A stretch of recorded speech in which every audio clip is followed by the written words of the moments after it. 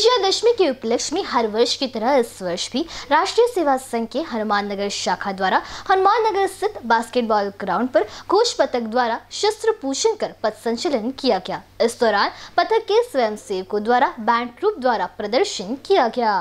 स्वयं सेवक संघ नागपुर महानगर बाल व शिशु स्वयं सेवक शस्त्र पूजन एवं विजयादशमी उत्सव का आयोजन विविध जगहों पर किया गया था। इसी श्रृंखला में राष्ट्रीय स्वयंसेवक संघ के हनुमान नगर के शिशु व बाल स्वयंसेवकों का विजयादशमी उत्सव हनुमान नगर स्थित बास्केटबॉल ग्राउंड पर संपन्न हुआ है।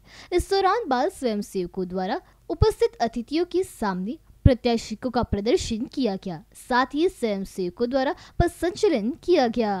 कैमरा पर्सन राजकुमार मोहर के साथ क्षितिजा देशमुख बीसीएन न्यूज़ नागपुर।